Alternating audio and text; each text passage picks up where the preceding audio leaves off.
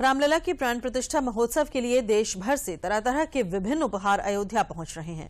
मंगलवार को गुजरात प्रदेश के बड़ोदरा ज़िले से 108 फीट लंबी और 610 किलो की धूपबत्ती पहुँची। धूपबत्ती को श्री राम जन्मभूमि तीर्थ क्षेत्र ट्रस्ट के अध्यक्ष महंत नित्य गोपाल दास ने अग्नि स्पर्श कराया। तो अगरबत्ती ने आसपास का वातावरण सुगंधित कर दिया। धूपबत्ती के साथ ही 300 किलो देसी घी भी आया है, जो समय समय पर धूपबत्ती पर चढ़ाया जाएगा। विश्व हिंदू परिषद के प्रांतीय प्रवक्ता शरद शर्मा ने बताया कि धूप बत्ती चालीस दिनों तक लगातार वातावरण को सुगंधित करती रहेगी। की तरह जलेंगे तो 24 घंटा जलेंगी रात दिन। 21 दिन मतलब 42 हो जाता है। 24 से 24 42 दिन होता है।